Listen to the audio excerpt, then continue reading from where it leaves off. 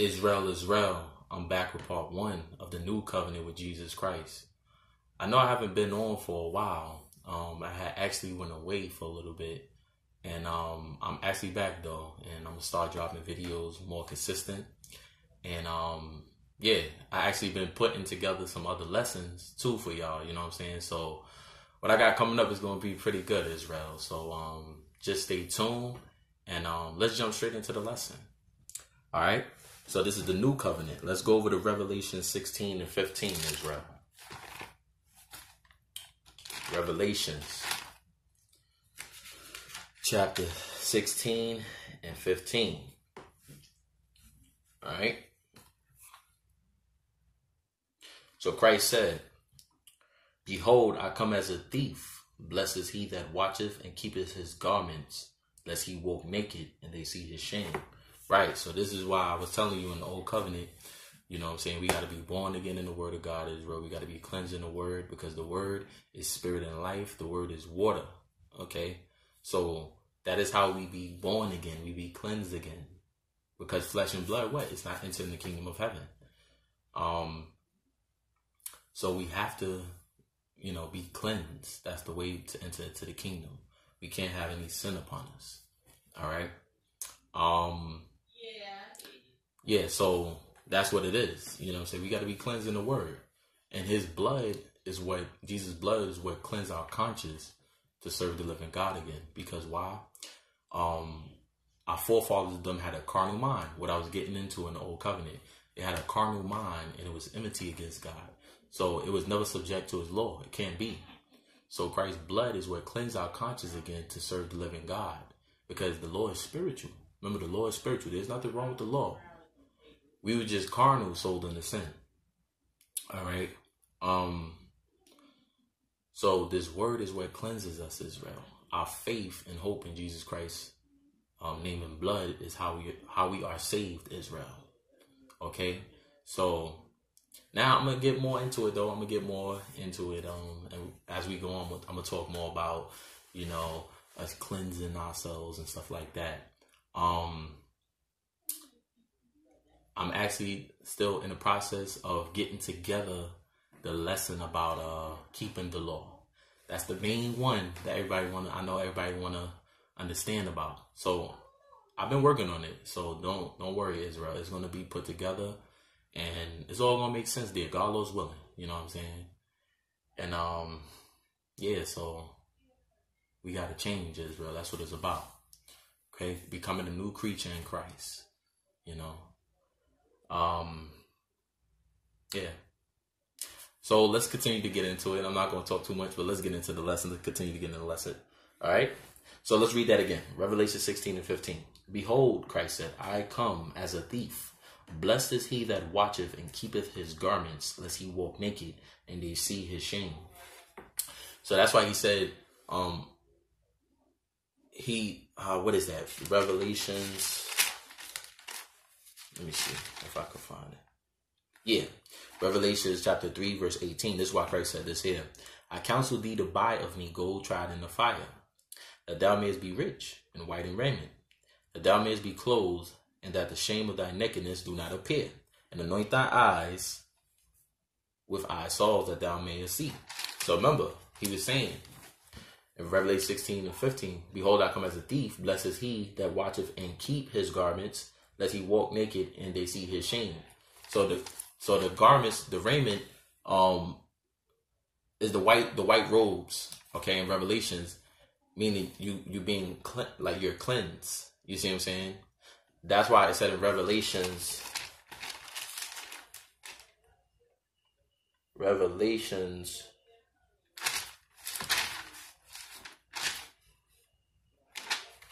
I think it's Revelations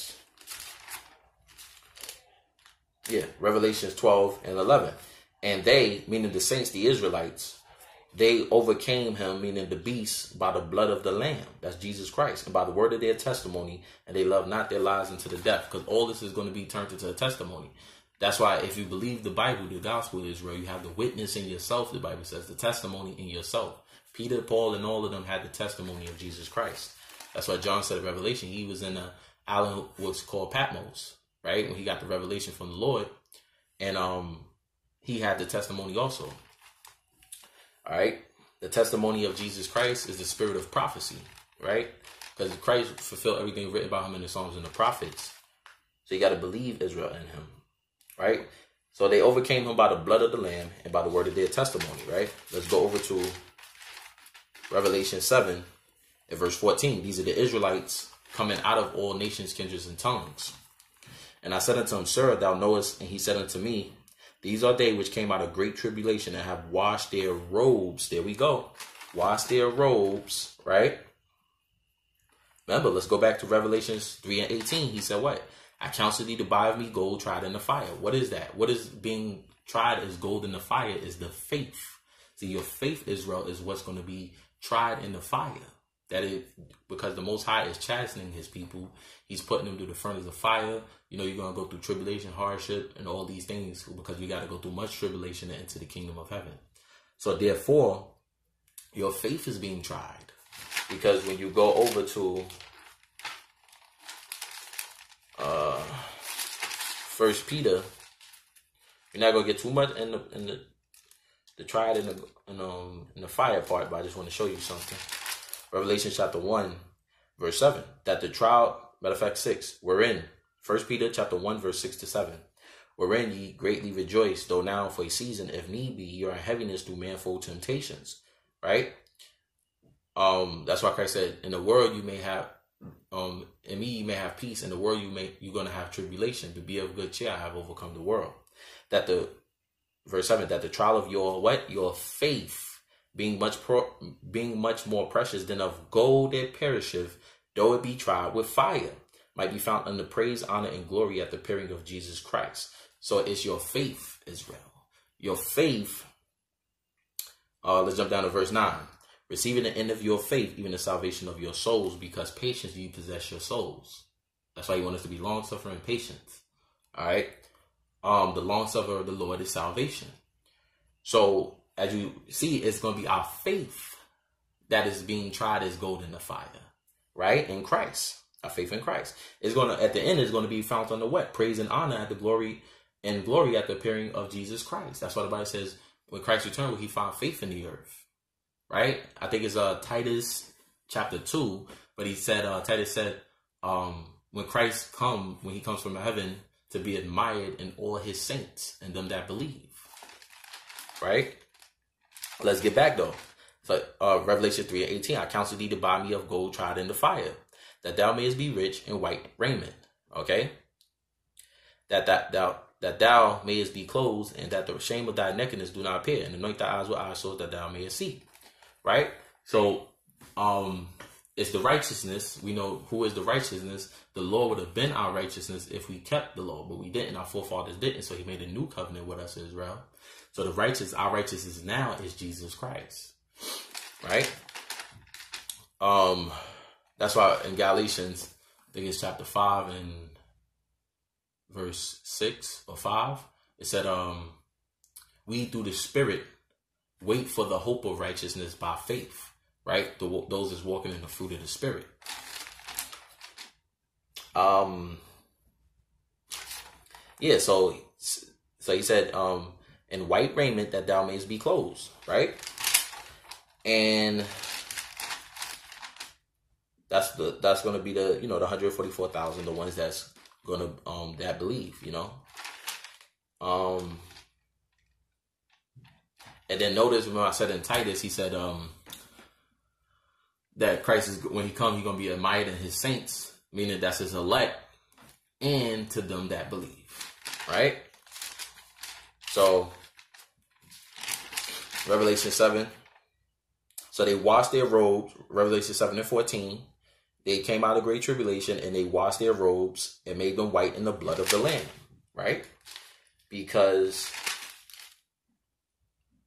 in Revelation, Revelation 12 and 11, it said what? They overcame him, the beast, by the blood of the Lamb. Right? So they made their their um, robes white in the blood of the Lamb. Right? Made their robes white in the blood of the Lamb. Because uh let me see.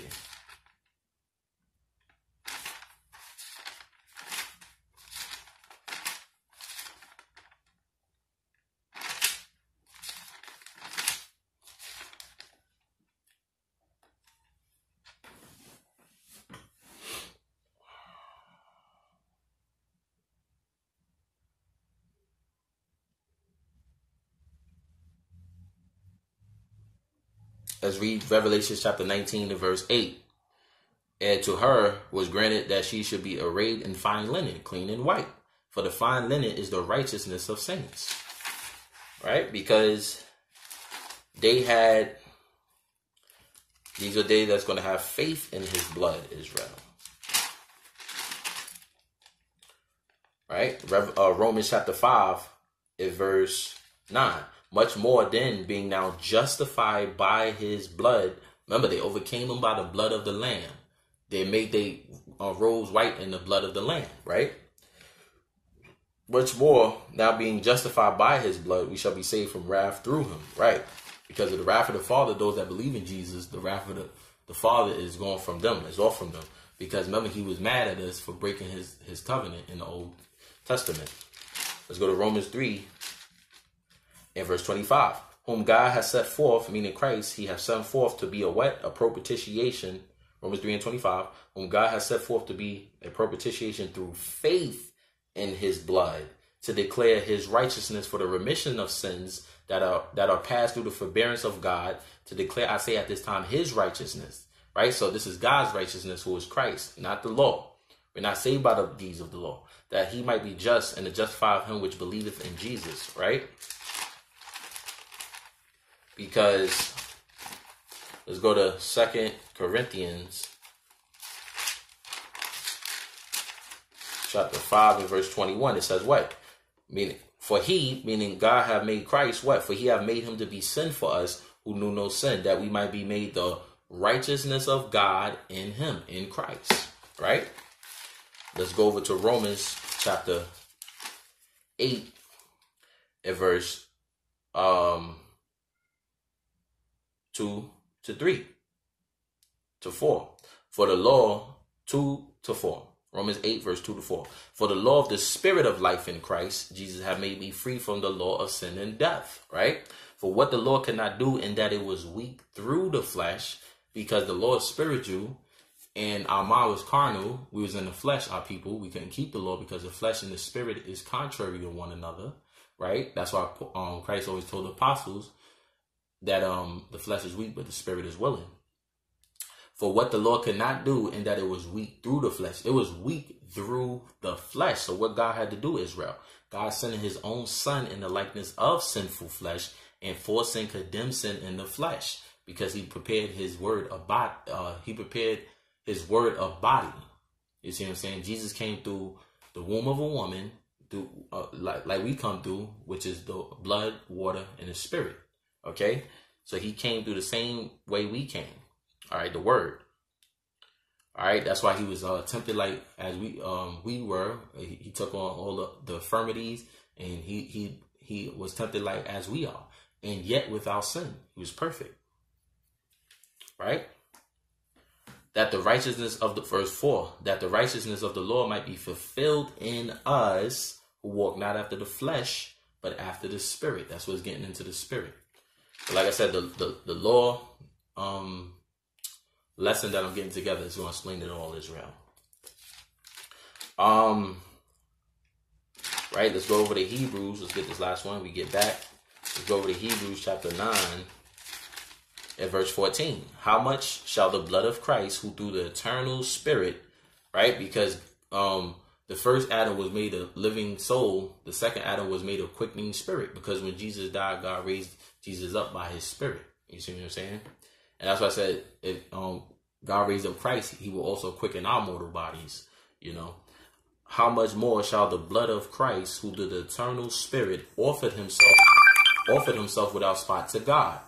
Purge your conscience. See, it was about the mind. Purge your conscience from dead works to serve the living God. You see that?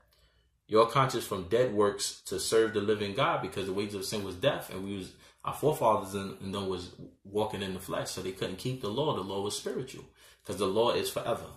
Hold on, Israel.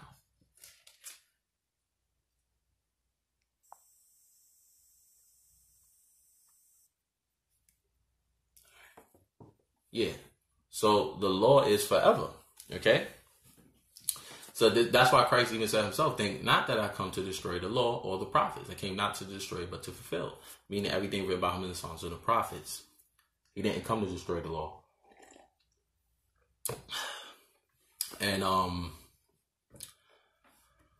even Paul didn't come to destroy the law. He he talked about establishing the law because he understood the law. You know, he he understood the law. Um, but he was telling us he was trying to teach our people about the law in the inward man because he was letting us know we couldn't keep the law through the flesh. And a lot of Israelites, a, a lot of Israelites today is trying to keep the law with a carnal mind still and through the flesh. You have to keep it through the spirit. You meaning you have to keep it through the spirit, which is the inward man. That's why it's all about being born again, being washed in uh, the word, and you know cleansed. But we're gonna talk about that more. All right, now.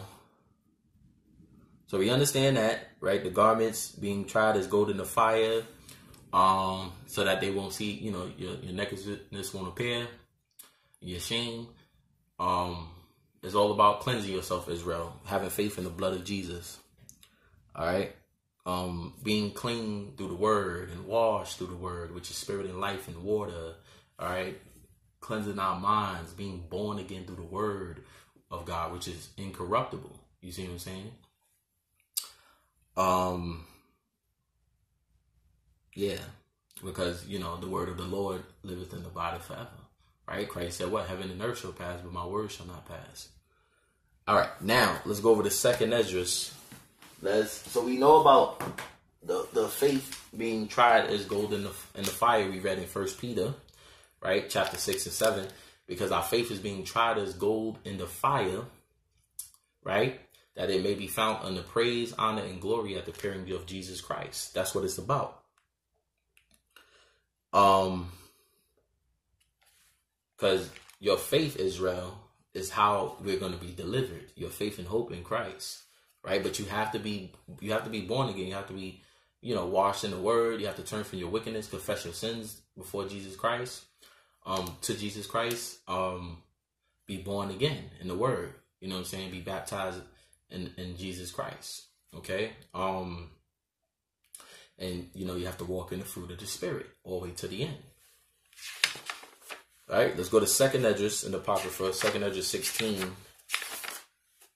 And we're going to start at verse, we want verse 7, 73. That's why the Lord said this here. It's talking about the end times. Then shall they be known who are my chosen, you see, and they shall be tried as the gold in the fire. See, then we read that in First Peter. Remember Christ said in Revelations 3 and 18? I believe that was, yep uh, Revelations 3 and 18 that, you know, I counsel thee to buy me of gold of gold in the fire. Right? So the Most High said, Then shall they be known who are my chosen, and they shall be tried as the gold in the fire. What is being tried? The, their faith. Right? They all they're gonna go through tribulations and hardships and persecutions and oppressions. All this stuff is gonna come upon them. Okay? They're going to be staying, staying, uh, standing stiffly for the name of the Lord. They're going to endure to the end. They're going to confess the Lord always before men. They're never going to be ashamed of the name Jesus Christ. They're going to always confess his name, Israel. Because that's the only name that we're going to be saved by. Israel must understand that. Um,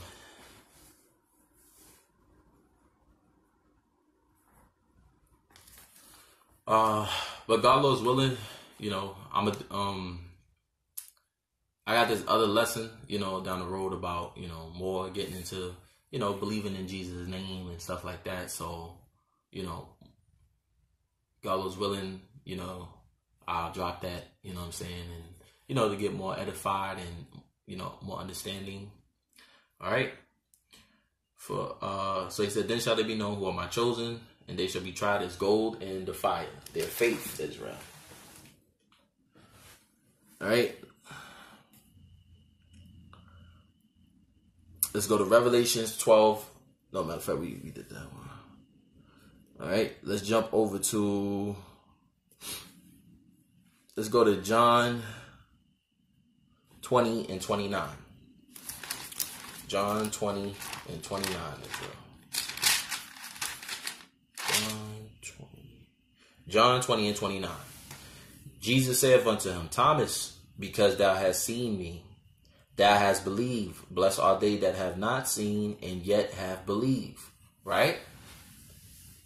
Blessed are they that have not seen and have believed.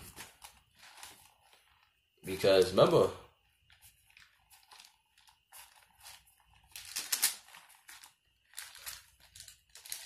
let's go to First Peter chapter 1, verse 8.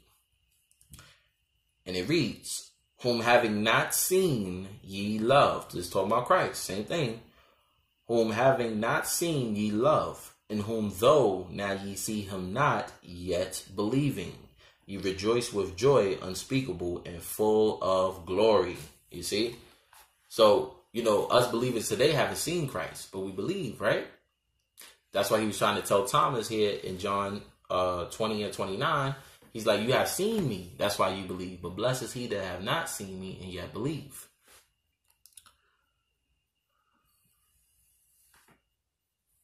Um let's jump over to Second Corinthians 5 and 7.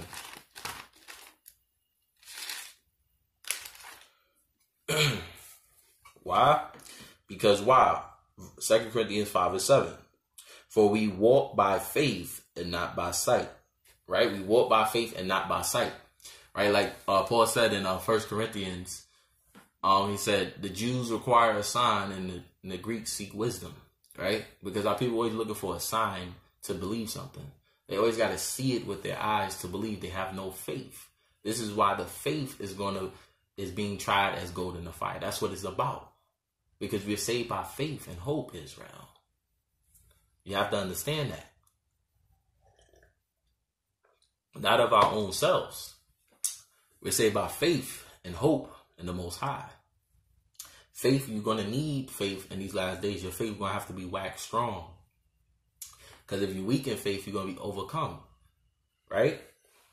You're going to be overcome. Because even the Most High told Esdras about the end times, who's going to be able to escape his works and stuff. What is it going to be by? Let's see. Let's see if it's going to be by themselves. Because you got a lot of Hebrews, you know, out here talking about like, you know, we should leave America. We should flee now. Get your passports, you know, and flee. It's a lot of teaching going around. A lot of people, Hebrews believe that, and you know, we should leave you know, where's the faith though? You see, everybody says they are believing the Most High, which we know if you understand the Old Testament throughout the whole Bible, the Most High always delivered us and saved us from the hand of our enemies. Right? Because those um, our people back then had faith in the Lord. So where's the faith at? Remember, Christ said, "He that try to save his life shall lose his life." But he that loses his life for my name's sake shall find it. Because you're going to have a lot of Hebrews, Israel, that is not going to have faith in the Most High. And they're going to try to save their lives and they're going to wind up losing it. You understand? Because faith is everything. You need faith. That's what the Bible says in Hebrews. Before anyone come to God, they must believe that he exists and he's a, a rewarded to them that diligently seek him. Faith is everything, Israel. So you got to understand that. You know, a lot of Hebrews fled most likely back to the land or wherever, you know, because they're listening to false prophets and stuff like that. You know, and a lot of people believe America is Babylon, which is not. But um, you know, like I said, I don't I don't get too much into it, but it is what it is. You know, it's just the way it is. You know, and uh, that's why a lot of people want to leave. A lot of Hebrews want to leave and stuff like that. And that's why I always say, like, those people or in Hebrews that's telling other people and Israelites to leave America, are they sure America is Babylon the Great, right? Because if they're wrong, are they willing to face the judgment of the Lord because basically you putting people's lives on the line.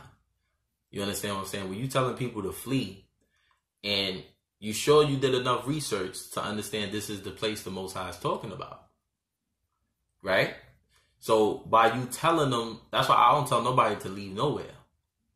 I tell people to seek the scriptures, trust in the most high word. Don't leave and listen to me. I always say that. Research yourself because in the last days there's false prophets out here and false teachers. So by them telling Israel Israel to leave America and stuff like that, are you willing to really are they willing really willing to and in the end and they found out they was wrong, you know, and something have happened to these Israelites by them leaving and all this, are they willing to face the judgment of the Lord from that? Because that's that's something you don't play with. But um yeah, so um where, that's why I always say, where's the faith in Israel? You know what I'm saying?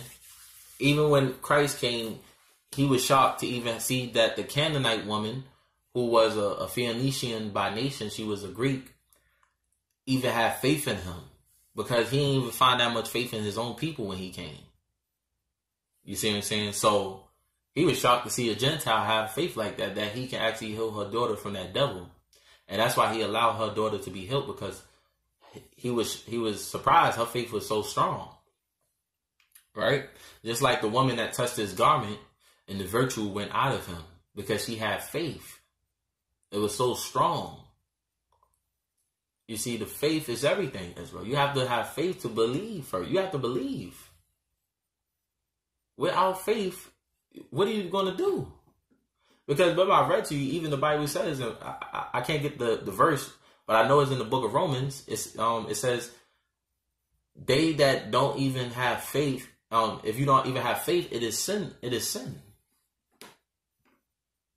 So faith is everything. You gotta understand that. Like we we don't when things is getting out of hand, we don't run. You know what I'm saying? We don't pack up and leave and say, "Oh, we gotta flee. We gotta start getting stuff together." You know what I'm saying, and food and stuff like that together. I used to think that like maybe I should start stacking up on some food, but nah, as I got more into the word, my faith waxed stronger because faith comes by hearing and hearing the word of God.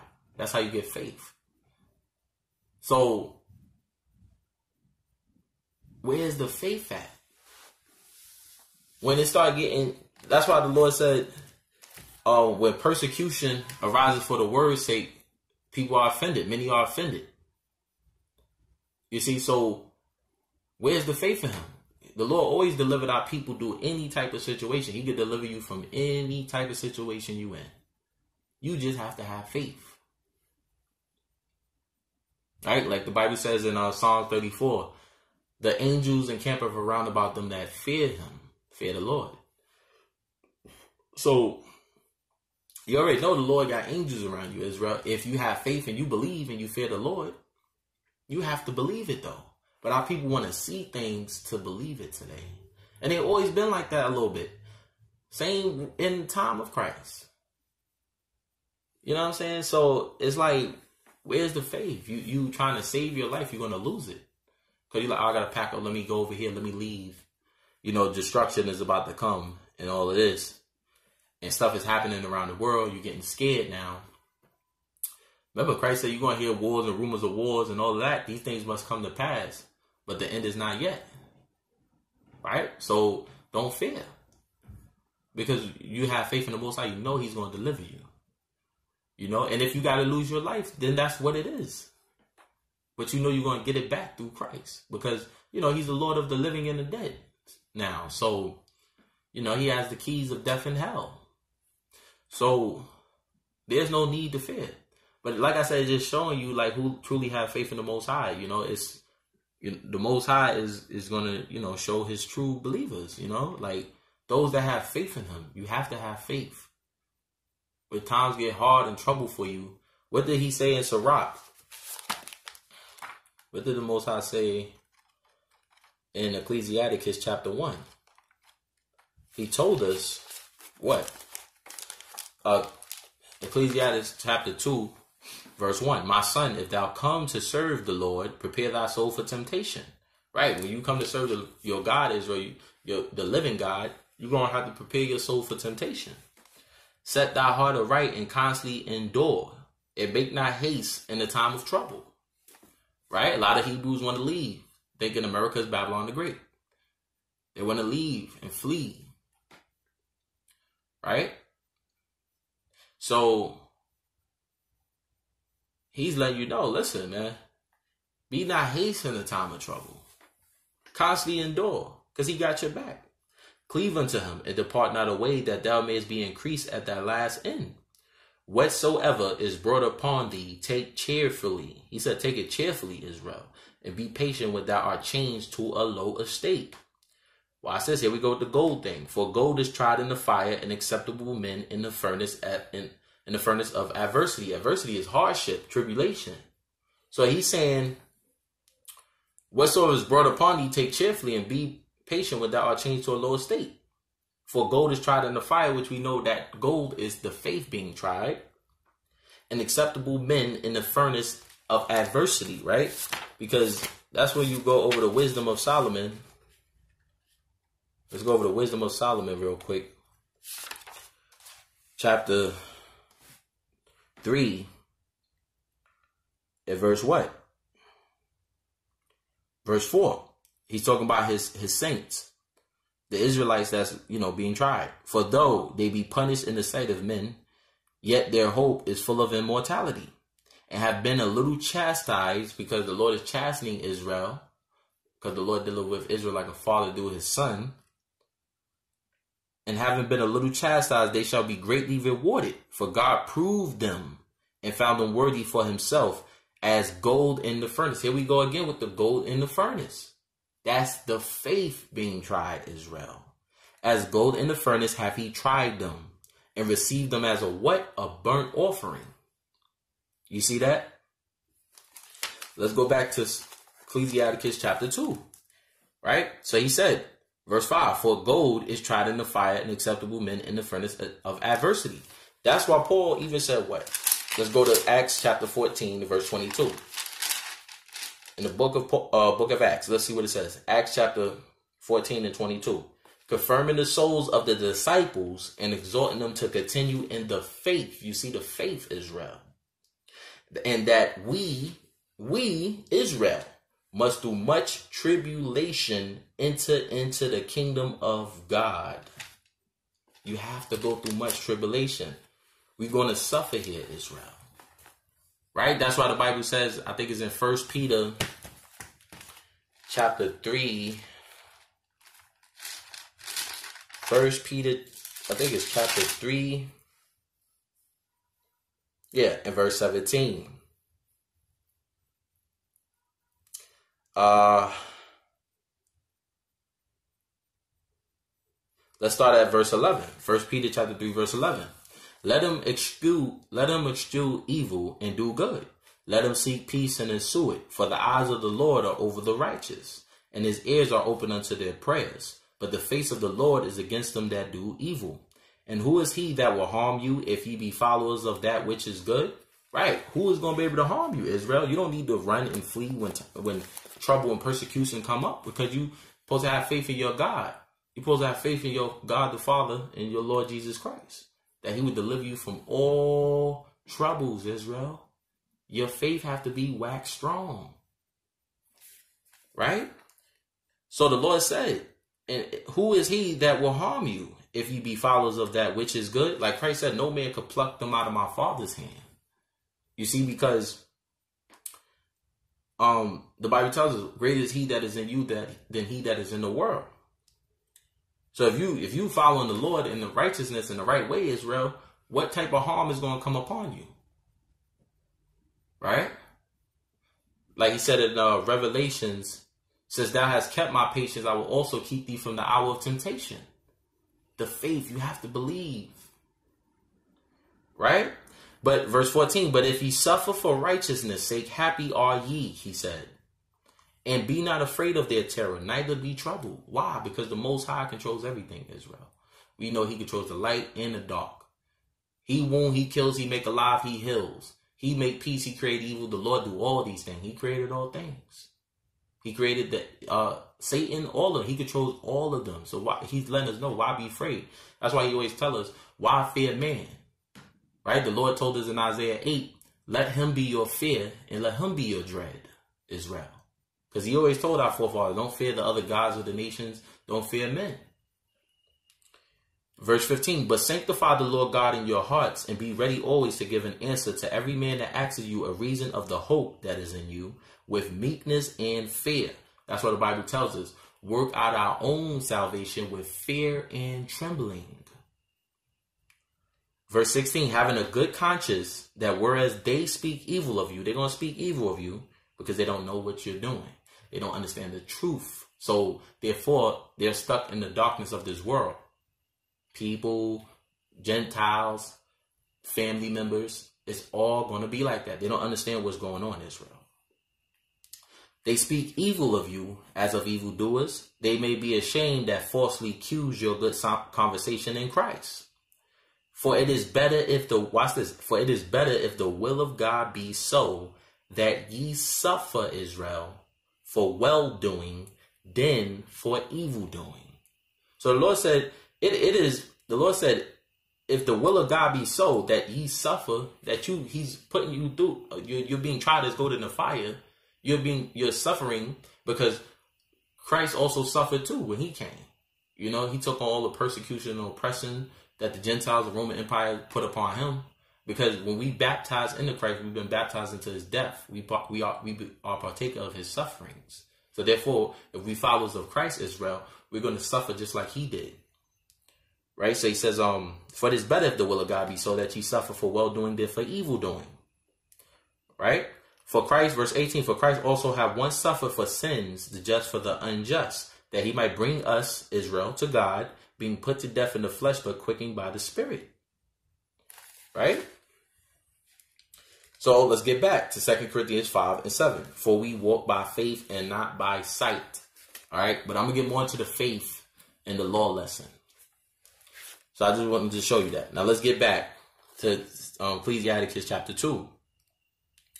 So the Lord said, verse 7, ye that, uh, I think is, let's start at verse 5 again. For gold is tried in the fire and acceptable men in the furnace of adversity. You're going to go through hardship. You're going to go through it all, tribulation. You're going to constantly go through it, Israel, to the coming of Jesus Christ. All right? Um, or until, you know, until you leave if you die, you remember you have to die in Christ, Israel, because some of us is gonna be here when Christ comes, and some of us ain't. So when the end, you gonna have to do it to the end until you die, or until you, if you're blessed to be here when Christ comes. That's the end.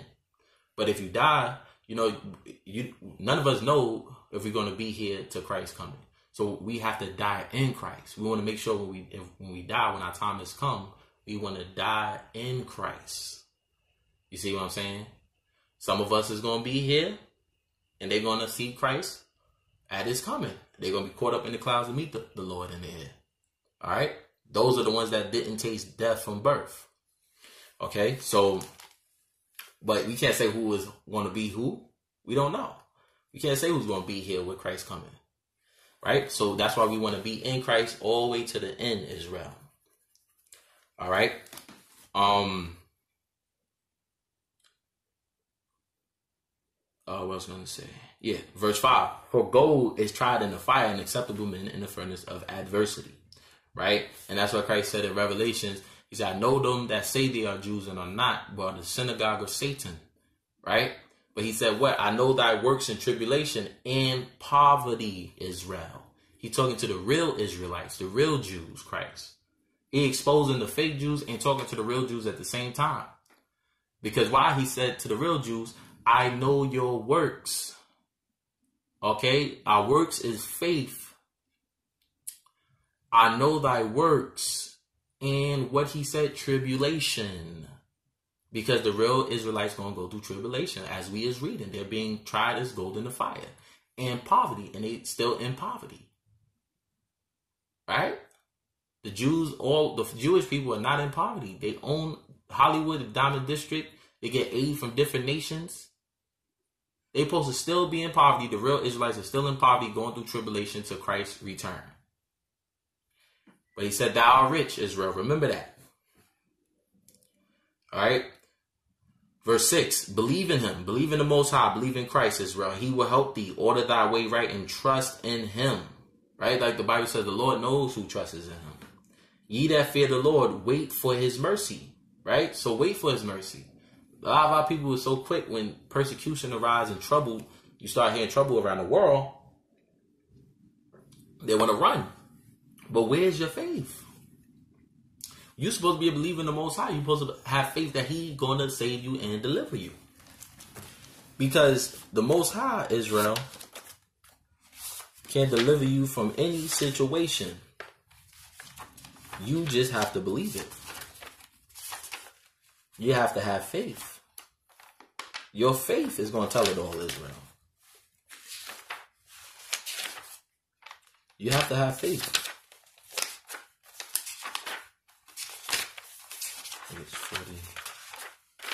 You have to have faith, Israel. Let me see.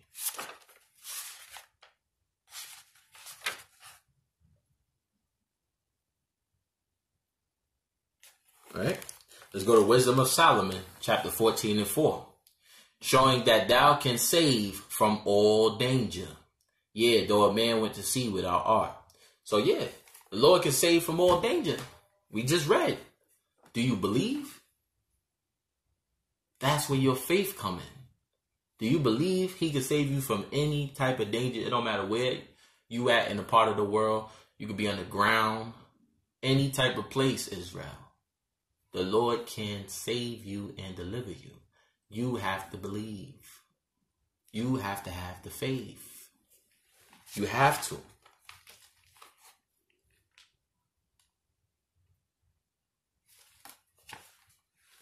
Right? He can save from all danger, Israel. Uh, Wisdom of Solomon, chapter 12, verse 16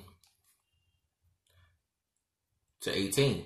For thy power is the beginning of righteousness, and because thou art the Lord of all, it maketh thee to be gracious unto all.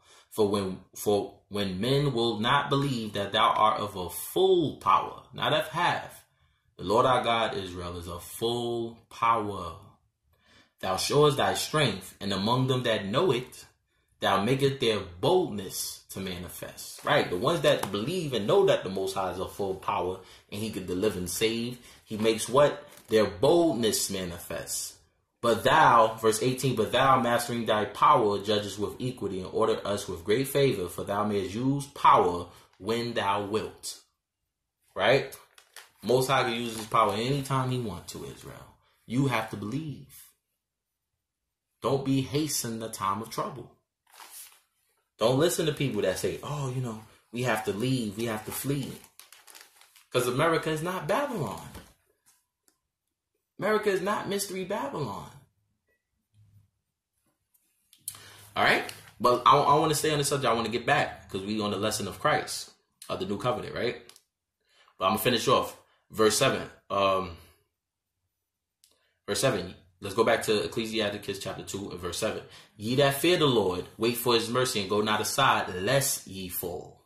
Ye that fear the Lord, believe in him, and your reward shall not fail. Ye that fear the Lord, hope for good and for everlasting joy and mercy. Look at the generation of old and see, did any ever trust in the Lord and was confounded? No, we know all those that believed in the Lord in the Old Testament, the Lord had their back. He never forsook them. He had the, he had them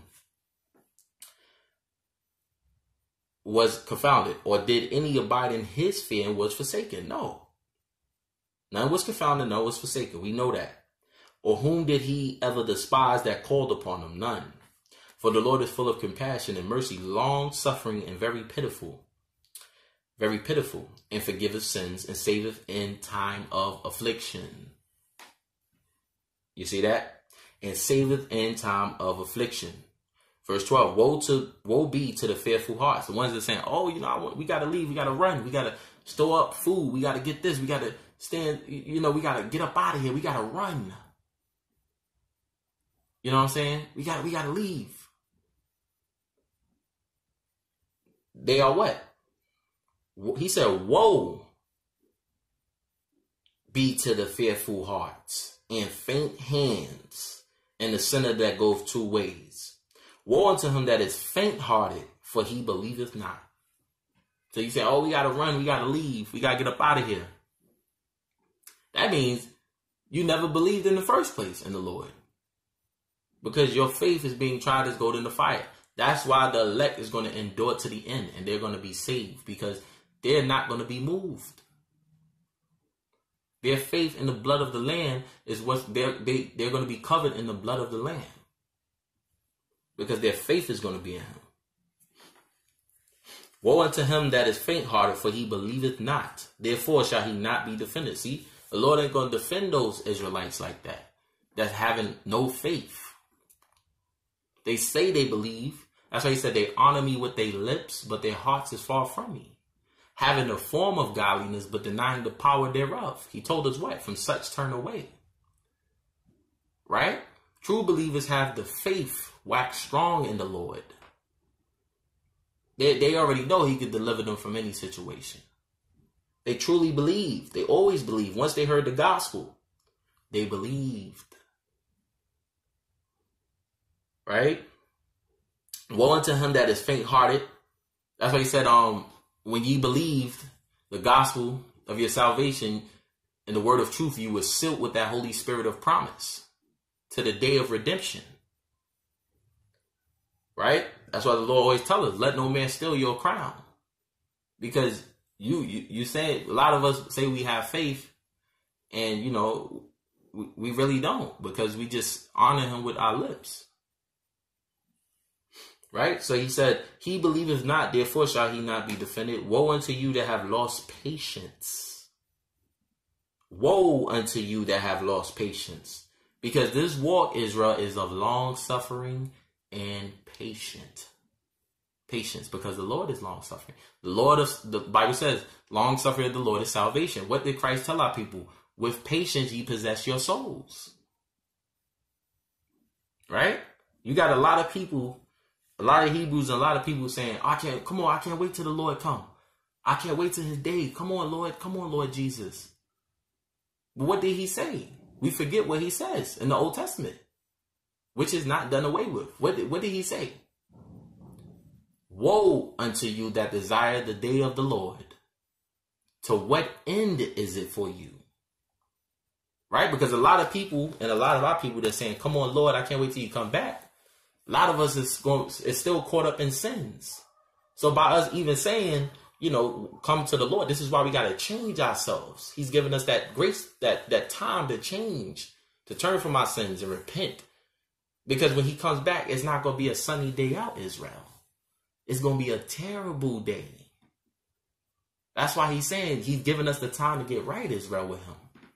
To get washed in the word, which is spirit and life and water to cleanse our conscience, to come back to Him, to repent of our sins, to confess our sins, to return unto the Lord our God through Jesus Christ. You got to be born again. You got to walk in the fruit of the Spirit. Because that's why Paul said, I'll present you as chaste, as chaste virgins at the appearing of Jesus Christ. Because we can't be presented at the Lord at his coming still in sin. Because he's coming back. That's going to be the day of the Lord is the day of vengeance where he's going to repay the wicked. So if you still in sin, you're going to be caught up in wickedness. What you think he's going to do to you? You still going to be in wickedness. This is why he said, woe unto you that desire the day of the Lord. To what end is it for you? The day of the Lord is darkness and not light, even very dark, he says. Because he, you got to remember Israel. You got to re- you got to come out of that's what Paul said with the renewing of your mind. You got to be renewed again, born again in the word, because everything we've been taught is a lie down here, Israel. The history books, everything we've been taught in this world is a lie. And we've been taught by false prophets in these churches and, you know, wolves and sheep clothing. They make you think and make the world think that Christ is coming back with the sun out and flowers blossoming up and everybody holding hands and he's going to tell everybody to come on back to heaven with him. But that's not what the Bible says. That's why Peter said, "Well, we ought, we rather obey God rather than man. Let every man be a liar and God be true." Because it ain't gonna be a nice, happy day. You know, people gonna be holding their stomachs, like he said, like a woman in travail. It's gonna be so frightening and terrifying the day of the Lord. People gonna be holding their stomachs and, and, and shouting and screaming because and running because he's coming back. It's going to be the day of vengeance. It's going to be he's going to repay the wicked. All right? That's why he says it's going to be bodies from one end of the earth to the other. They shall not be lamented nor buried, but they shall be what? Dung upon the ground. Because he's coming back for all the wicked. So that's not a day that you, you know, it, it's going to be a day for Israel because he's coming back. It's going to be their salvation, but it's also going to be a terrible time for the world because he's coming back for what? The heathen. They, they're not going to be, you think he forgot about them? So he, you think he just punished Israel and did all this to Israel, blotted out their name, you know, made them forget their name, chased them out the land. It was all because of their wickedness. He done it all in righteousness. Is that we were just wicked.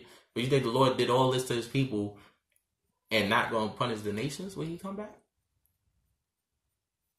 This is what they truly believe. That's why he told Jeremiah, Jeremiah 25, um, he he he said, I'm getting ready to bring evil upon this city which is called by my name. That was Jerusalem and Judah. And he told the other nations, should ye not be utterly unpunished? Surely you should, you should be utterly punished. That's why he told Jeremiah to take the cup at his hand and make all the nations to drink it. Because he has a controversy with all the nations. They wicked. But that's for another topic. But like I said, the day of the Lord is going to be very terrible, man. So that's why he said, Woe unto you that desire the day of the Lord. To what end is it for you? Because if you still caught up in wickedness and sin, what end is it for you? What that means? That's why we don't want to try to be caught up in sin. That's why we want to change ourselves now. He's giving us the time. You see, he he ain't come back yet, yet, and you know nothing really happening yet. You we hear wars and rumors of wars. I mean, there's a lot going on, but you know the great tribulation and all that. He's giving Israel time because the Bible says what he want he want them all to come unto repentance that none should perish. But they don't want to listen.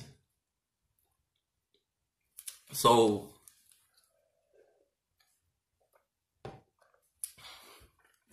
So um yeah. Woe unto you that desire the day of the Lord. To what end is it for you? Right? he said, like if a man flee, what he said, if a man fleed from a a lion, the day of the Lord is like a man fleeing from a lion, and he said a bear met him, or he went into the house and leaned his hand on the wall, and the serpent bit him.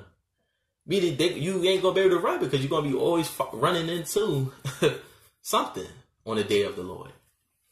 So it's like he's giving us the time now, Israel, to get right, man.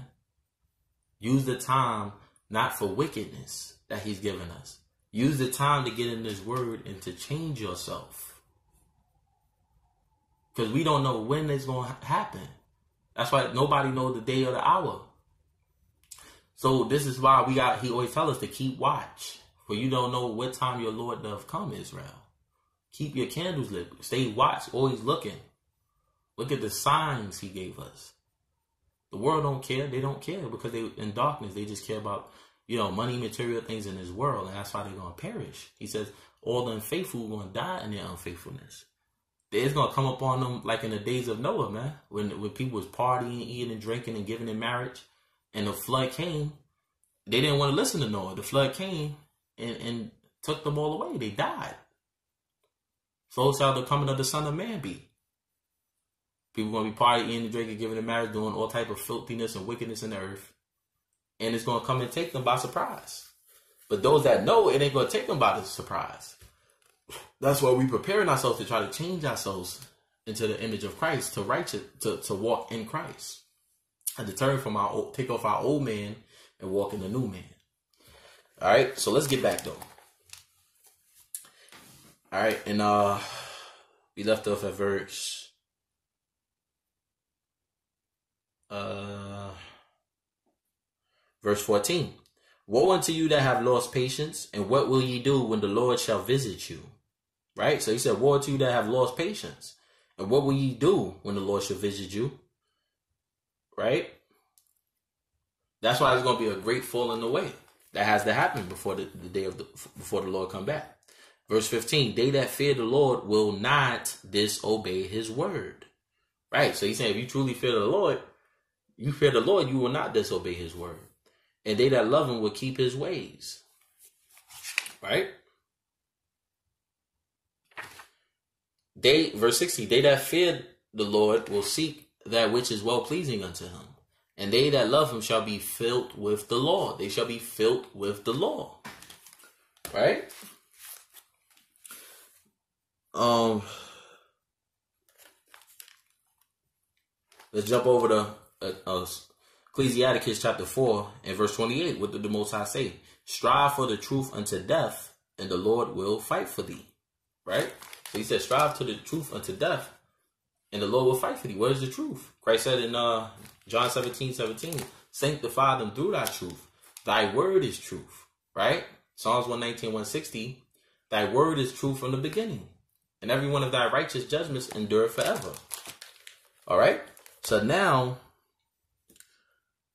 let's go over to Romans chapter 8, verse 24 to 25. Romans chapter 8, verse 24. So we walk by faith and not by sight, Israel. Okay? Matter of fact, before we go there, let's let me get to that verse where I want to go in Second Esdras and see what the Most High told Esdras about how they're gonna be able to escape His works in the end. Those, let's see. Let's start at um Let's read verse 9, chapter uh, second second Ezra chapter 9, verse 1. He answered me then and said, Measure thou the time diligently in itself. And when thou hast seen part of the signs, and when thou seest part of the signs past which I have told thee before, then shalt thou understand that it is the very same time wherein the highest, most high, will begin to visit the world which he made. Right? And we see these signs all over the world. Wars and rumors of wars and stuff is increasing droughts and you know famines and pestilence and you know floodings all over the world and wildfires is increasing and earthquakes in many places and all of this is just increasing rapidly. Why? Ask yourself why. Sedition among men you know hong kong uh, venezuela france um who else and many more nations around the world right now is they're rioting. They're what are they doing? They're they're they're going against the, their kings and their princes, like the Most High said. A lot of some of the presidents over there or the or the higher up powers are resigned. Some of them are standing. But what did the Lord say about that? Let's go over to um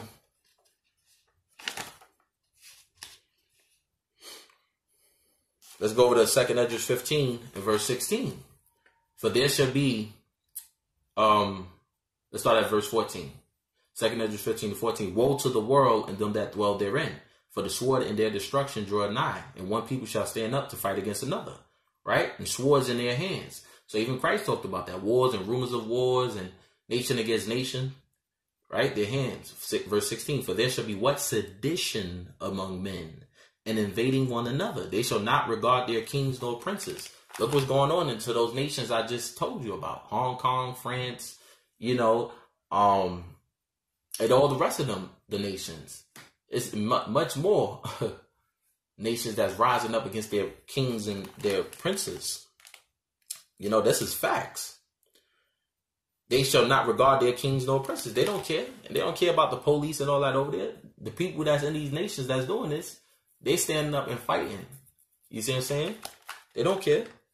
It's getting worse and worse. Just look. All you gotta do is look at what's going on around the world instead of being caught up in music and you know video games and stuff like this and stuff they want to keep us distracted by so we won't know what's happening around the world. They're not to tell us this stuff in the regular news, which is run by the you know the, the kings of the earth, these wicked kings that's ruling the world. You gotta seek for it. You gotta look so you can know what's going on. We can't. I'm in my house right now, right? I can't see what's going on around the world unless I see it, right? Unless I know about it on on a video or something or something like that. But if I turn on my regular channel, I'm not going to hear about these wars and stuff and things happening around the world. They're not going to get that in the regular news. So you got to seek it. You got to keep looking for it. You know, you got to look to other news sources and stuff. You know, it's all over. Um, they shall not regard their kings nor princes, and the course of their actions shall stand in their power. Right. They that's why they you know rioting and you know, tearing up places in their nations, setting things on fire and all that. A man shall desire to go into the city and shall not be able. You see?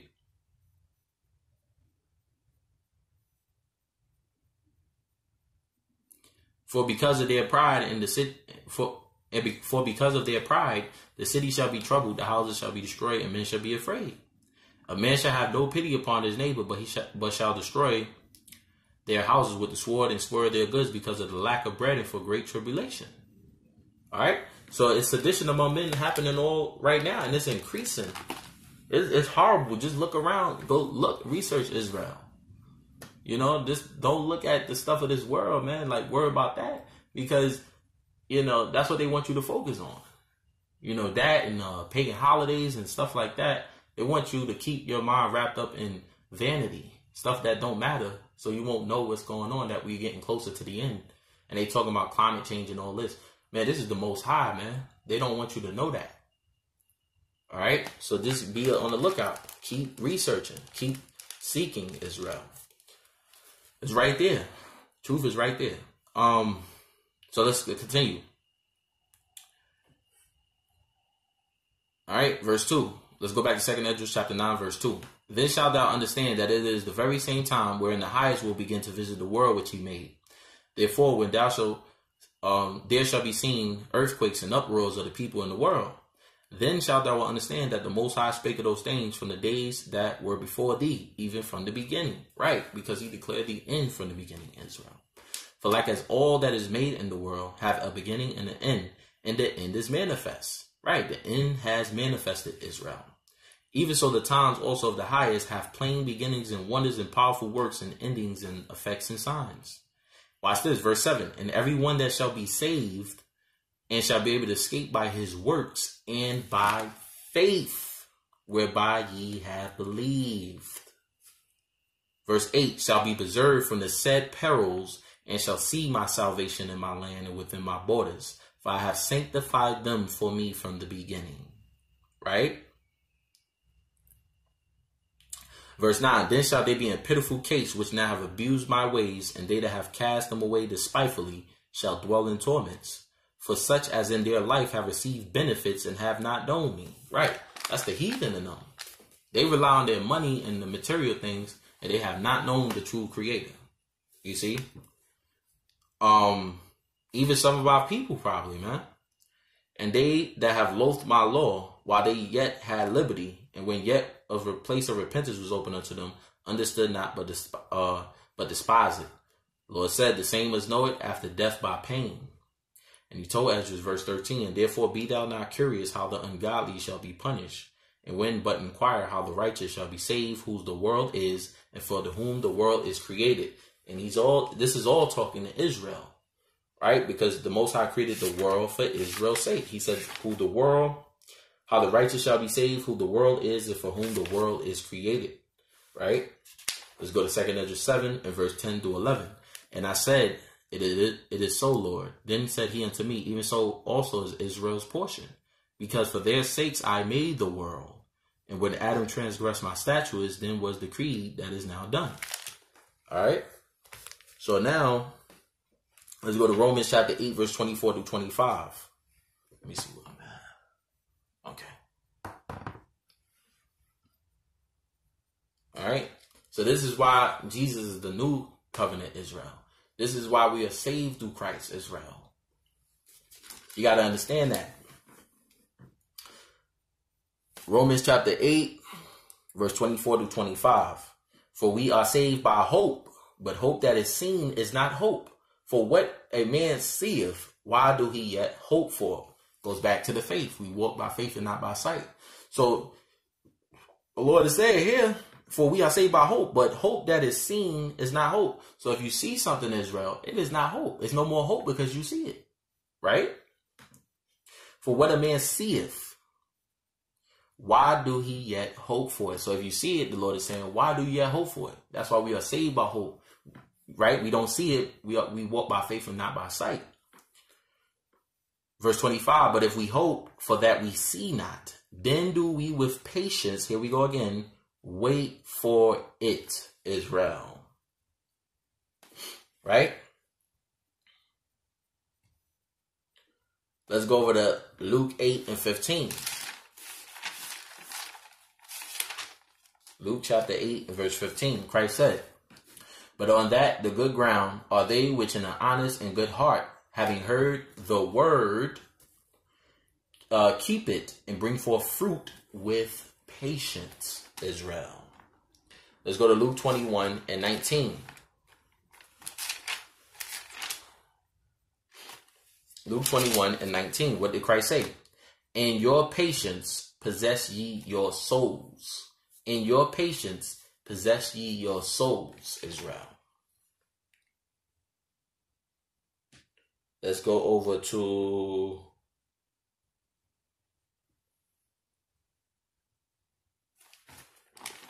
Let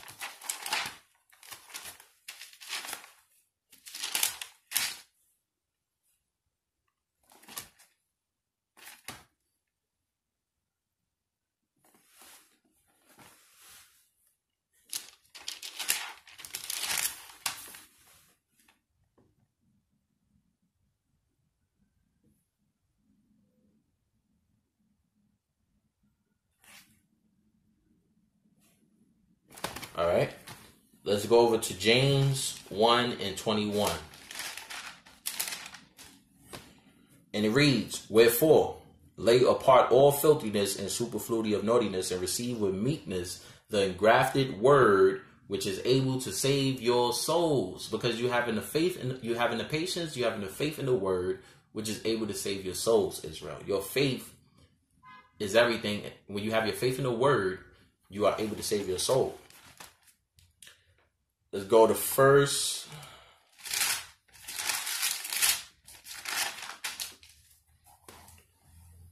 First Peter 2 and 25. For ye were as sheep, that's talking to Israel, going astray, but are now returned unto the shepherd and bishop of your souls. Who is that? That's talking about Christ. And Christ is the word, so you have a faith in the word, who is Christ, you have you um you save your souls through Christ. Because you have patience, um, you have faith in the word which is able to save your soul, Israel. Right? Let's go over to First Peter 1 and 9. That's why he said what? First Peter 1 and 9. Receiving the end of your faith, even the salvation of your souls. That's through Christ, believing in his word, having faith in his word, you possess your souls, Israel. You, you possess your soul. Okay, let's go back. All right, Romans. Yeah, that's all I want. Now let's go over the.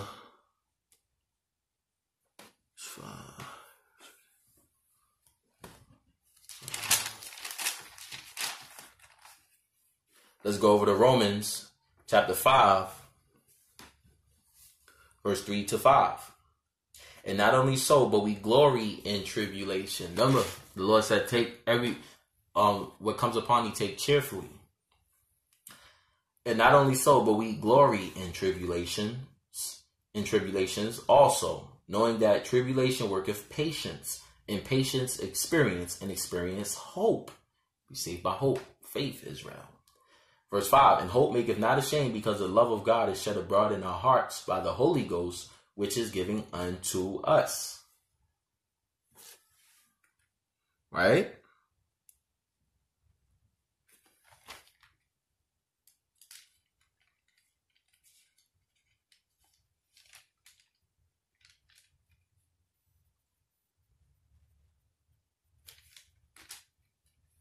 Okay, let's go to Romans chapter 8, verse 28 to 39. Right? That's why the Lord said this. What did Paul say? Romans 8, verse 28 to 39. And we know that all things work together for good to them that love God, to them who are called, are the called according to his purpose. For whom he did foreknew, he also did predestinate to be conformed to the image of his son. You see that? That's what we got to do, Israel, that he might be the firstborn among many brethren, right? Being the first fruits.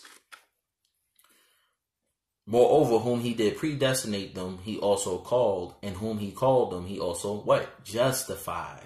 And whom he justified them, he also glorified. What shall we then say to these things? If God be for us, who can be against us, Israel? right? If God be for us, who can be against us? Let me see. Where did I go to?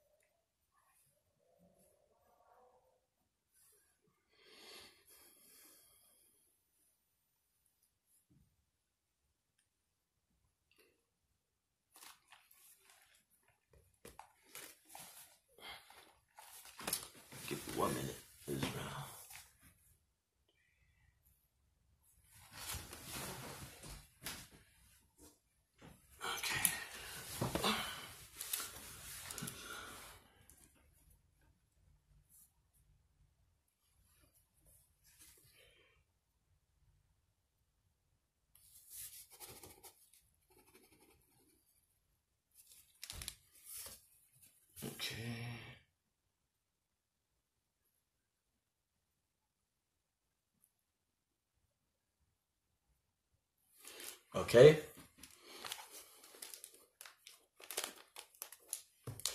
So he said, verse 31, What shall we then say to these things? If God be for us, who can be against us? So if God be for us, Israel, who can be against us? Right? We got the true living God.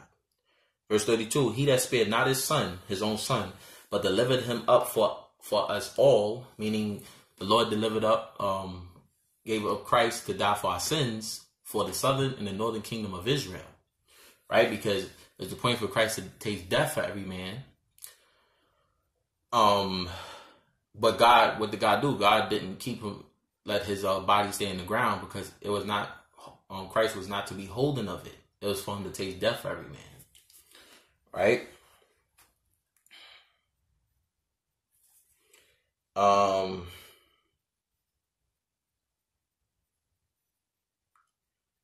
He that spared not his own son, but delivered him up for us all, how shall he not with him also freely give us all things? You see that, Israel? So we got to understand, you know, this is the point. This is why the Lord sent his son, the word Jesus Christ, his word and son Jesus Christ to die for the, the 12 tribes of Israel, to reconcile us back to the Most High. Right?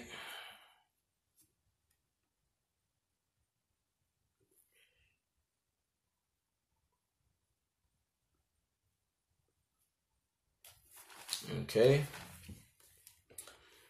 Let's go over to 33. Who shall lay anything to the charge of God's elect? It is God that justifieth, right? Like the Bible said, he cared for his elect.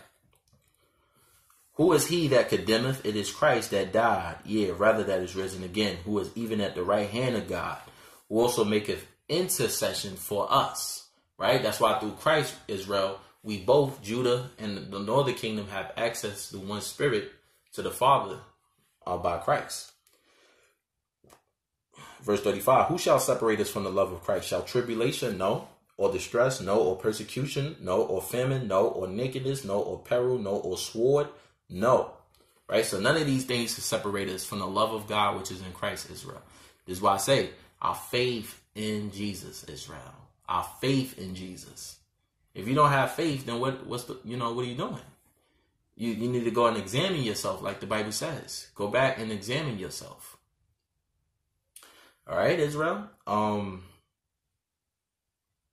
yeah, so when these things come upon us, what I just read in verse 35, we don't run Israel. We stand strong. We stand strong to the ground. We stand firm in the word and the truth.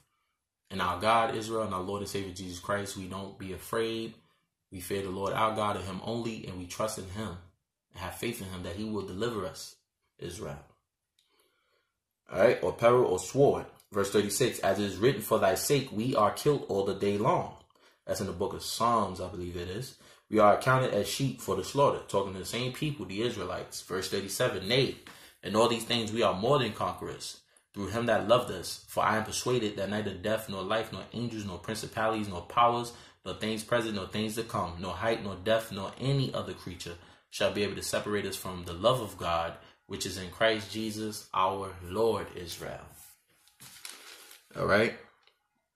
Let's go over to Hebrews chapter 11. Hebrews chapter 11, verse 1 and 6. Now faith is the substance. Now faith is the substance of things hoped for. Here we go again. The evidence of things not seen. Like he said, if a man hope, if he see the things he hope for, why do it? Why do he yet hope? If he see it already, right? But if we hope that we the uh, we hope for the thing that we not see, then we wait for it with patience. Israel the evidence of things not seen. Let's go to verse 8. But without faith, it is impossible to please him. It's impossible to please God. For he that cometh to God must believe that he is, and that he is a rewarder of them that diligently seek him. You see? that's why the Lord said here in the Apocrypha, this is why Jerusalem said what? Our mother Israel said here in Baruch, right? That diligently seek Him.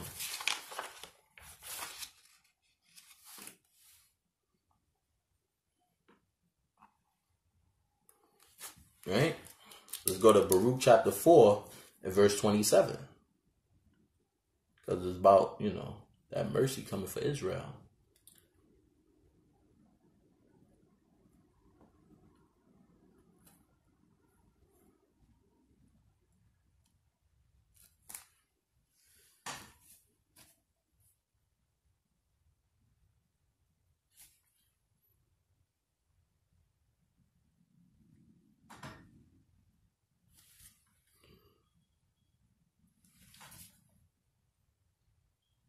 All right. Baruch chapter 4, verse 27. Be of good comfort, O my children. Jerusalem is talking to Israel. Be of good comfort, O my children, and cry unto God, for ye shall be remembered of him that brought these things upon you. Uh, in verse 28 also. For it was your mind to go astray from God, right? It was our mind to go astray from God, Israel. That's why the Bible says, Your sins, your iniquities have separated you from separated separated you from your God. So being returned, seek him 10 times more. Right. Right? You got to diligently seek him, Israel. Seek him 10 times more.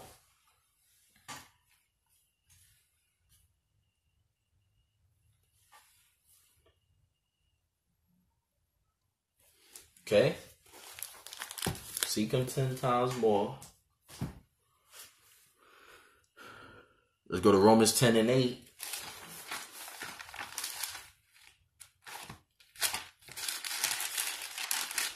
Romans chapter 10 and verse 8.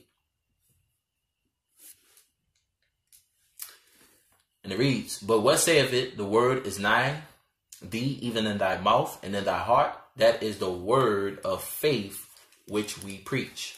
You see, the word of faith which we preach, Israel, because we are saved by faith and hope in Jesus Christ. Name and blood, Israel. Okay? Let's go over to Isaiah 59 and 21. The word is nigh unto thee, right? Even in thy mouth and in thy heart. That is the word of faith which we preach. Isaiah 59 and verse 21. As for me, this is my covenant with them, meaning the Israelites, saith the Lord, my spirit that is upon thee, and my words which I have put in thy mouth shall not depart out of thy mouth, nor out of the mouth of thy seed, nor out of the mouth of your seed seed, your seed seed, save the Lord, from henceforth and forever. Right? Let's go over the Revelations.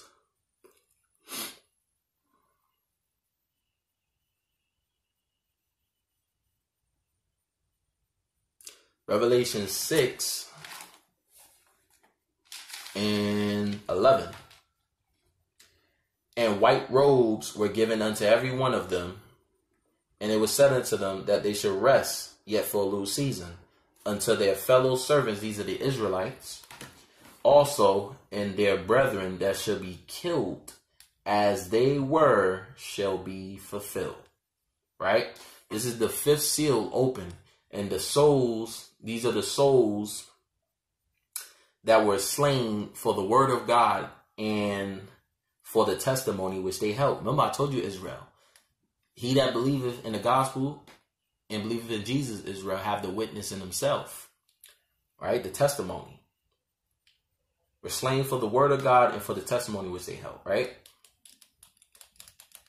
Okay, so these are the souls that can continually complain before the Lord. Okay? To avenge them on the earth um, which is these are the souls of the Israelites. Because as you can see, it says, "And white robes were given unto every one of them. It was said unto them that they should rest yet for a little season to their fellow servants also and their brethren. These are Israelites that should be killed, as their word should be fulfilled." All right. Let's go to Revelation 7 and 14. And I said unto him, Sir, Thou knowest, and he said to me, These are they which came out of great tribulation and have washed their robes and made them white in the blood of the Lamb. They're going to have faith in his name and blood, in Jesus' name and blood. Let's go over to Revelations chapter 1 and verse 5. All right, so this is talking about um, the elect, the, the, the Israelites, the saints. All right, and I'm going to drop the video about the 144,000 elect saints. I don't know what day, but God is willing um, maybe soon, you know. Okay. Um, Revelations 1 and 5. And from Jesus Christ, who is the faithful witness and the first begotten of the dead and the prince of the kings of the earth, unto him that loved us, loved Israel, and washed us from our sins in his own blood. Right? Washed us from our sins in his own blood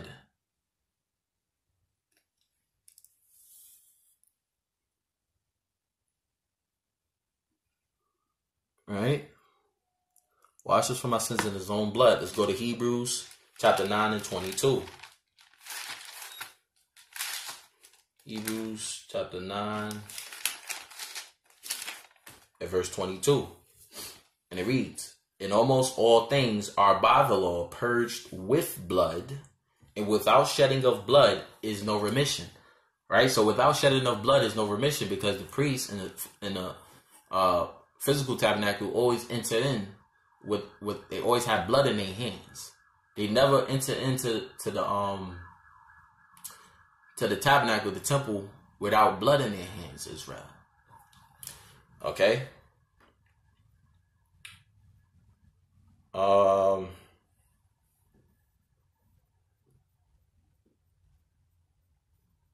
which is uh yeah, the worldly sanctuary, right? They always entered in. Yep, to offer up for their sins. The the, the priests, they always entered in um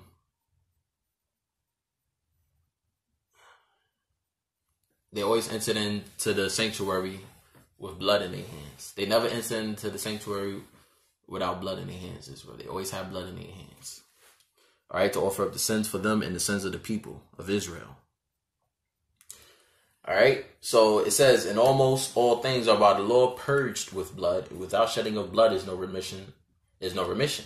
Now we read in Revelation one and five, Christ shed His blood for remission of sins for us, right? Um, let's go over to Leviticus seventeen and eleven because the Most High always told us what Leviticus chapter 17 and 11. For the life of the flesh, the Lord said, is in the blood, and I have given it to you, to Israel, upon the altar to make an atonement for your souls. For it is the blood that maketh an atonement for the soul. So it is the blood that maketh the atonement for the soul. And the blood of lambs and goats could not take away sins, Israel. It wasn't enough. That's why God had to send his son. You see what I'm saying? His um he was he was like a lamb without he was perfect, without spot or blemish. His blood cleansed our conscience again to serve the living God, right? So that we can serve his law. Because the law is spiritual, but we were carnal sold into sin. All right. The carnal mind is enmity against God. Right? So the Lord said, For the life of the flesh is in the blood, and I have given it to you upon the altar to make an atonement for your souls. For it is the blood, it is the blood, Israel, that maketh atonement for the soul. Let's go over to Romans, right? Because you have to understand that the Old and New Testament is talking to Israelites. All of it is talking to the Israelites. You know, I understand not a lot of people will understand that, but for those that have eyes to see and ears to hear, understand that, you know? Both of them is talking both of the covenants is talking to Israel. All right, that's what Paul said here. Romans chapter 5 and verse 11.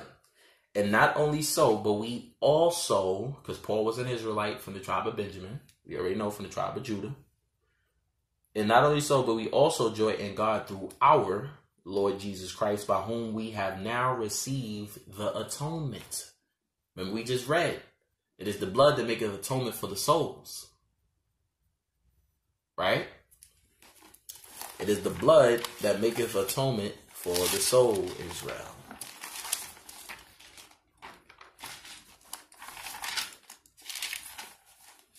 Right?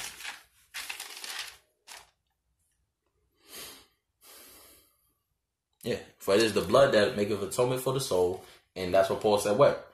Through our Lord Jesus Christ, by whom we have now received the atonement, because that's why Christ is was um as a lamb. He's called a lamb because we used to offer up lambs and bullocks and stuff like that. You know, we offered up lambs and stuff like that for sin offerings and stuff like that. You understand? So that's why it says in Isaiah 53, He have made him to be sin for us. Um, not Isaiah 53. Um, the Second Corinthians 5 and 21, He have made him to be sin for us who knew no sin, that we may be made the righteousness through Him. You see what I'm saying? Um,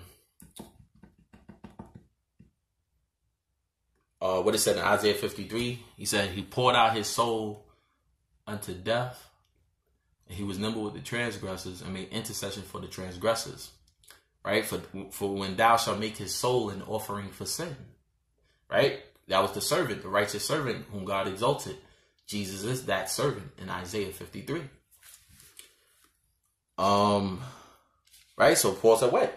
We have now received atonement because all the blood, the blood of the animals wasn't the perfect atonement. We kept doing that, and we still would have to go back into the worldly sanctuary with blood in the high priest with blood in their hands to make atonement for the sins of the people and their sins. But they come back in there every year because why? That blood of the animals could not purge the conscious Israel. It could not purge the conscious.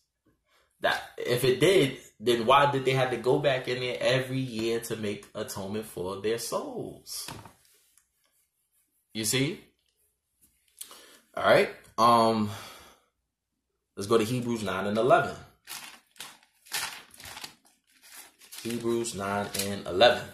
And read, but Christ being come in high priest of good things to come, right? He's the priest after the order of Melchizedek, by a greater and more perfect tabernacle, not made with hands. That is to say, not of this building. Right? Let's go over to Hebrews 9, 1 and 10. Then verily the first covenant had also ordinances, of divine service in a worldly sanctuary. You understand? For there was a tabernacle made, the first wherein was the candlestick and the table and the showbread, which is called the sanctuary. And after the second veil, the tabernacle which is called the holiest of all, which had the golden censer in the ark of the covenant overlaid round about with gold, wherein was the golden pot that had manna and Aaron's rod that budded, and the tables of the covenant, and over it the cherubims of glory shadowing the mercy seat, of which we cannot now speak particularly. Now, when these things were thus ordained, the priest went always into the first tabernacle, accomplishing the service of God. But into the second went the high priest, alone, once every year, not without blood, which he offered for himself and for the errors of the people. The Holy Ghost, this signifying that the way into the holiest of all was not yet made manifest, whereas the first tabernacle was yet standing. Verse 9, which was a figure for the time then present, in which were offered both gifts and sacrifices.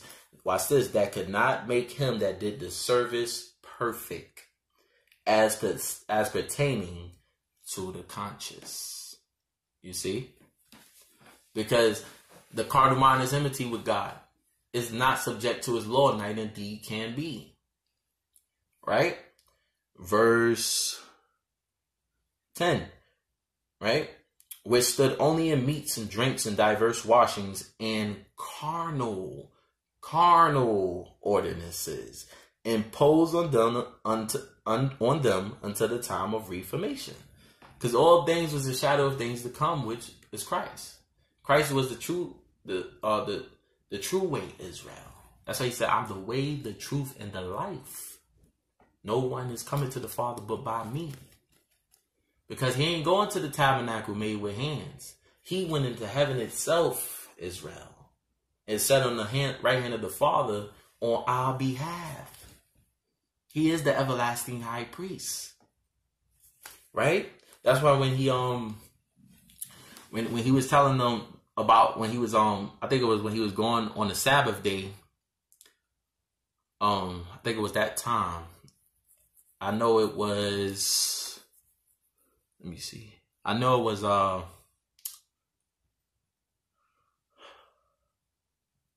I think it was. I think it was Matthew fourteen and seven. But that's why he told the Jew. He said, "A greater than the temple is here." You see what I'm saying? And that's why he died. The temple split from top to bottom. You see what I'm saying? Letting them know that his body was the temple. You see what I'm saying? His body was the temple of Israel. All right. Um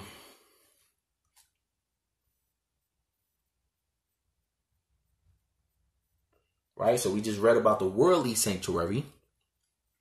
Let's go to Hebrews chapter 10, verse 1 to 3. For the law, having a shadow of good things to come and not the very image of the things, can never with those sacrifices which they offered year by year continually make the comers there unto perfect. Right? the comers there too perfect. Verse two. For then would they have would they not have ceased to be offered, because that the worshippers once purged should have had no more conscience of sins. So basically, Paul is saying, listen, if if the blood of the animals was good enough, then they wouldn't have to go into the tabernacle. You know what I'm saying? They wouldn't have to go back. Their conscience would have been purged of sins. That their uh, that the worshippers once purged should have had no more conscience of sins, meaning that they would have never be, went to sin no more, sin the transgression of the law. So if the blood that one time when the high priest went in there, it should have done it. They should have never been back in there the next year to offer up another animal. Because the blood of the bulls and goats could never take away sins, Israel. Verse 2, right? Uh, verse 3. But in those sacrifices, there is a remembrance again made of sins every year. Because they go back once they offer the animal for their sins, the high priest, then sins of the people, they back in there every year. Because they broke the law again. That means they broke the law again. Okay?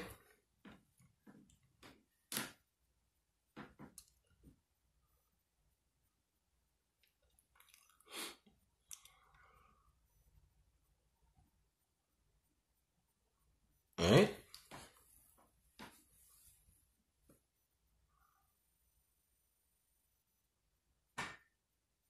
All right. Sins every year. Let's read verse 4. For it is not possible that the blood of bulls and of goats should take away sins. You see what I'm saying?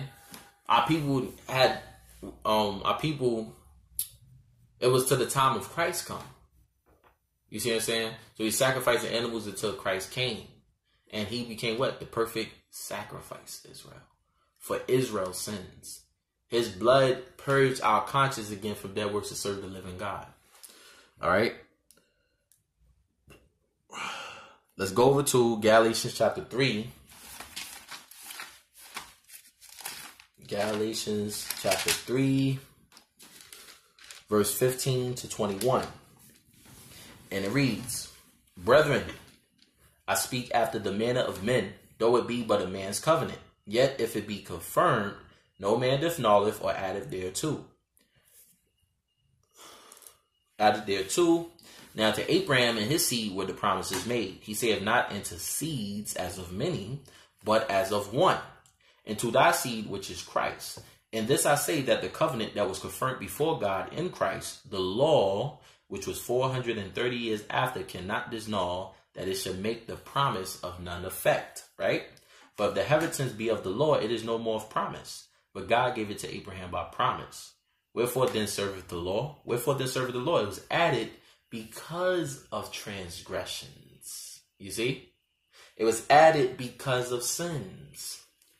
Till the seed should come to whom the promise was made. Because it was a seed that was going to come along to whom the promise was made, Israel. Right? Come to whom the promise was made, and it was ordained by the by angels in the hand of a mediator. Right? Remember we was talking about in the old covenant, Moses was the mediator between God and the Israelites in the old covenant. Jesus is the mediator between God and the Israelites in the new covenant. Verse 20 Now a mediator is not a mediator of one, right? But God is one. Verse 21 Is the law then against the promises of God? God forbid. For if there have been a law given which could have given life, verily righteousness should have been by the law. Remember, Romans chapter, let's go back to Romans chapter 8. The law was weak through the what? The flesh, Israel. Romans 8, verse 3. For what the law, let's go back, let's read verse 2 again. For the law of the life, Romans 8, 2 to 3. For the law of the spirit of life in Christ Jesus hath made me free from the law of sin and death. Right? Because let's go back, let's jump over to Romans chapter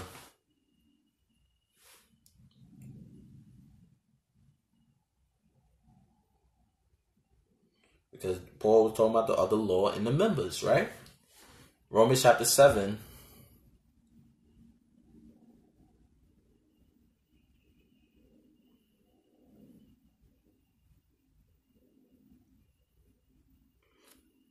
Let me see.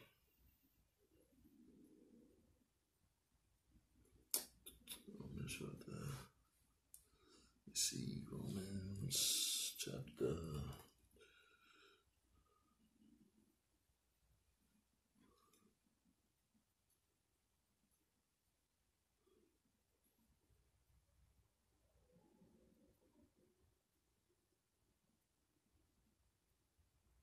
All right.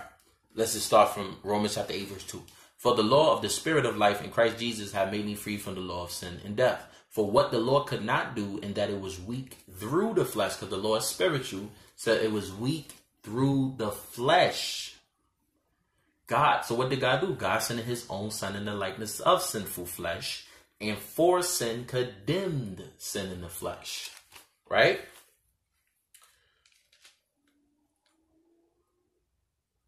Really, righteousness should have been by the law. Right, righteousness should have been by the law. But we know that it was weak through the flesh. Right, Israel? We know that it was weak through the flesh. All right. Now, let's go over to, let's go to Hebrews chapter 7 and 19. Hebrews chapter 7 and verse 19. And it reads, For the law made nothing perfect, but the bringing in of a better hope did, by the which we draw nigh unto God. Right? So that's Christ, right? Christ is our hope, Israel. For the law made nothing perfect. That's why he said if, if righteousness would have came by the um if there had been a law that would have brought forth life, then righteousness would have came by the law. But we know that the, the law was weak through the flesh. So God sent his son in the likeness of sinful flesh right? For for the law made nothing perfect, but the bringing in of a better hope did, by the which we draw nigh unto God. Right? Let's go over to Hebrews 8 and 6. But now have he obtained a more excellent uh, more excellent ministry by how much also he is the what mediator this is talking about christ remember the mediator of a better covenant which was established upon better promises, Israel. You understand? Because you have to understand that the law is spiritual, right? So we were carnal, sold into sin. Our carnal mind could not keep his law. So through Christ, we are one again. We are southern, northern kingdom. We're back to becoming 12 tribes through Christ. On the cross, when he died on the tree, he reconciled both unto God in one body, right? Making both twain to one new man, so making peace. You see what I'm saying? So through him, you see what I'm saying? We um our belief in him, we are righteous through Christ because Christ kept the law perfect. You see what I'm saying? And the point was for us to be made the made um the point was for let me see.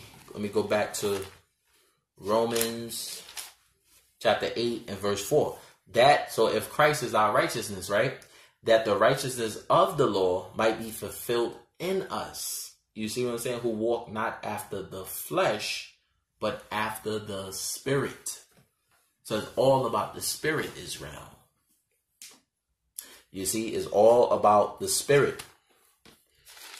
Okay? So let's get back.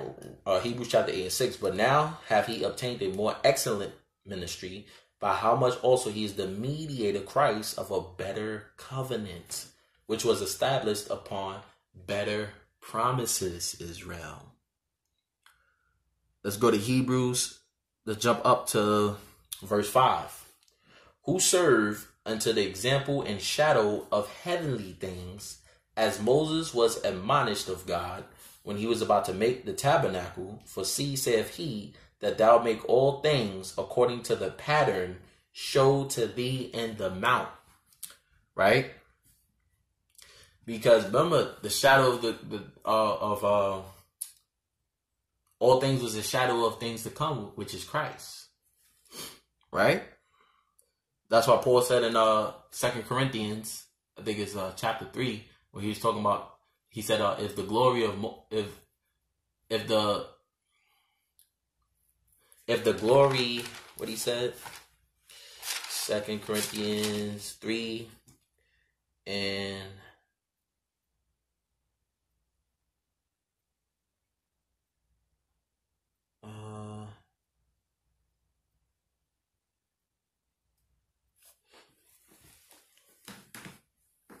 Right.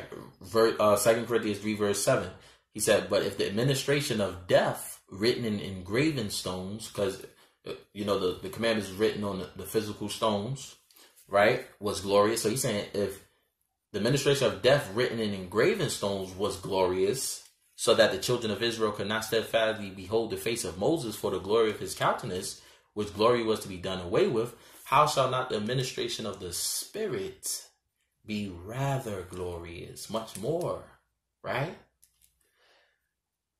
For if the ministration of condemnation be glory, much more doth the ministration of righteousness exceed in glory. You see, that's Christ, Israel. All right. Let's go over to Hebrews 9 and 23. Hebrews 9 and 23. It reads, "It was necessary. It, it was therefore necessary that the pattern of things in the heavens should be purified with these, but the heavenly things themselves were better sacrifices than these." Right? Let's jump over to Let's go back to Hebrews chapter ten, verse one. For the Lord having a shadow of good things to come, and not the very image of things, can never with those sacrifices which they offer year by year continually make the comers there unto perfect, because Christ was the perfect sacrifice, Israel. Right? Right? The animals wasn't the what we needed. We needed the sacrifice of Christ, his blood, Israel, to be shed for our sins. Right? So it's a sacrifice which they offered year by year, continually make the comers there unto perfect, right? Let's go to Colossians 2 and 17. And it reads, which are a shadow of things to come, but the body is of Christ. Right? That's why we are one in the body of Christ, Israel. We are the church. We are his members. You see what I'm saying? He is the head. He is the head. right? It's all about us being made righteous through Him, Israel.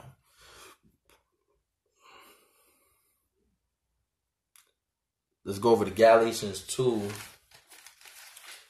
and 21. All right. So this is the end of part one. And God willing, I hope this was edifying. God willing, I'll be back with part two, Israel. All right. So I hope you learned something from this and keep seeking the Most High. And, you know, God willing, we'll be back, Israel. So on that note, I want to give all praise, glory, and honor to the Most High God of Israel, the God of Abraham, Isaac, and Jacob, the great I am that I am, and his word, wisdom, and son, Jesus Christ, who was made flesh to die for the 12 tribes of Israel to reconcile them back to their God, and the Holy Spirit, who is the spirit of truth. On that note, I say peace and blessings.